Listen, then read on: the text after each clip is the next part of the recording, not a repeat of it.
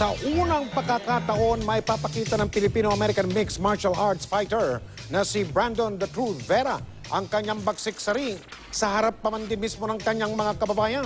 Makita mount muna tayo kay Mark Zambrano. Hindi maitagong saya sa mukha ng Filipino-American mixed martial arts fighter na si Brandon The Truth Vera nang humarap siya sa media sa NBA Cafe. Kasama si Vera sa fight card ng 1FC event sa December 5 sa Mall of Asia Arena. Ang 1FC ang pinakamalaking mixed martial arts organization sa Asia. Dream come true daw para kay Brandon na lumaban sa harap ng kanyang mga kababayan sa unang pagkakataon. Baka maubos ng Tagalog ko, man. I won't be able to explain exactly how I feel. I've been dreaming about fighting here in the Philippines since day one. For me to be able to bring them home and show them that I've done it big in my line of work, I'm on top of the world. Bagamat may dugong Italian at American din si Vera, pinalaki daw siya bilang isang Pilipino.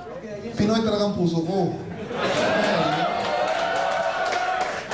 Sa dugo ko, Pinoy. Yun lang alam ko. Paglaki ko, I was Filipino. Nung kumakain kami ng lola, sinusubok kami kamay. Ganyan, no?